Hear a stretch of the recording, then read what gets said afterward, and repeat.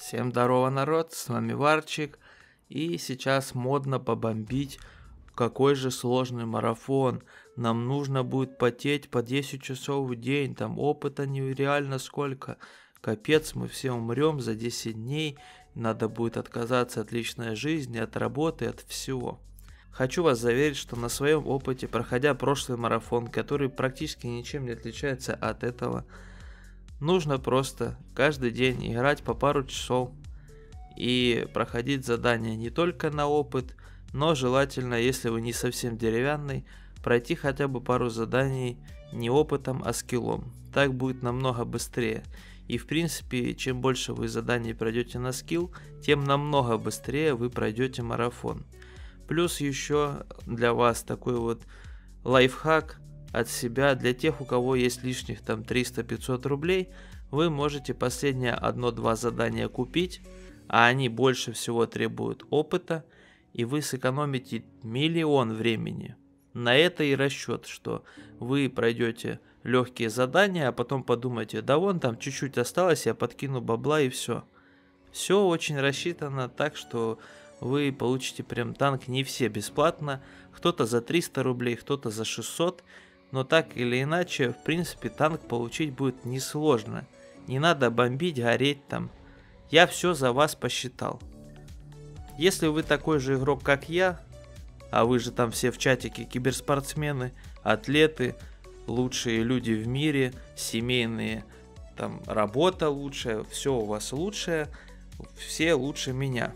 Если у вас средний опыт, как у меня, 900, то вам понадобится 3-4 часа в день, чтобы пройти этот марафон.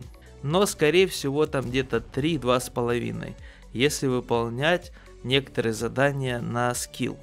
Но если выполнять все задания от корочки до корочки за опыт, то понадобится 4 часа в день. В зависимости от того, насколько быстрые будут бои.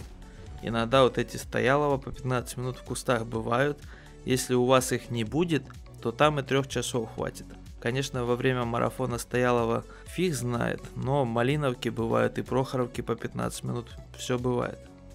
Если вы игрок похуже, то вам придется играть в день от 5 до 7 часов. Чисто опытом набивать от края до края. Если вы купите последнее задание, это сразу минус полтинник опыта. Это сразу минус 2 дня ваших страданий. Если вы купите два последних задания, это практически минус 4 дня страданий.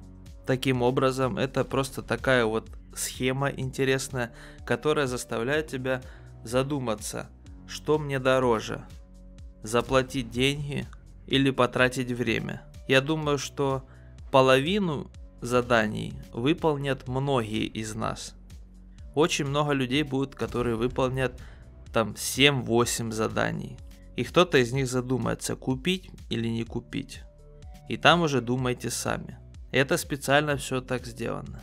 Но что я вам хочу сказать? Во-первых, это бесплатно. За каждое задание есть награда. Вы ничего не теряете, если вы просто играете и так в картошку. Если вы и так играете каждый день или иногда, вы в любом случае получите какую-то награду. Если вы просто так играете много и даже вообще не будете читать эти задания, вы получите этот танк и все. Поэтому бомбить вообще не вижу смысла.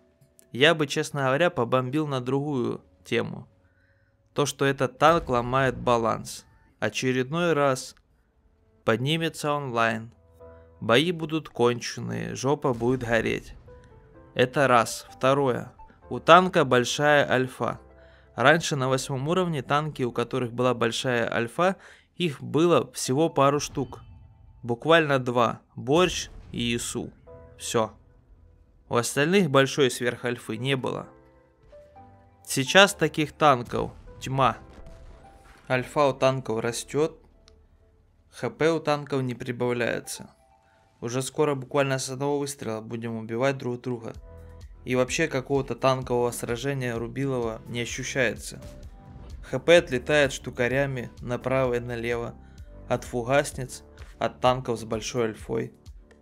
Уже СТшки там вводят за ЛБЗ с большой альфой, прем ПТ с большой альфой, прем ТТ с большой альфой.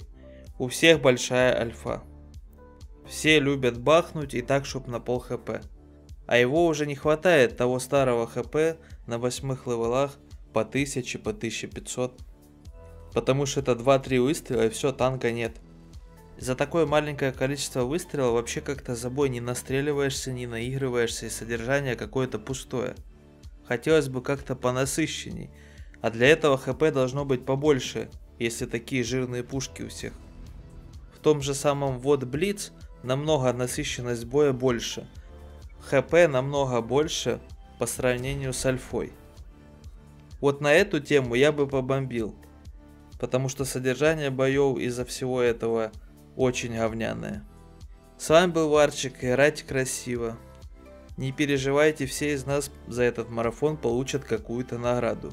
Кто играет больше, тот получит танк. Кто играет меньше, тот просто получит награды. Но для меня этот марафон будет, скорее всего, очень легкий. Поиграть в картошку через силу каждый день по 3 часа, в принципе, я могу. С вами был Варчик, играть красиво, пока.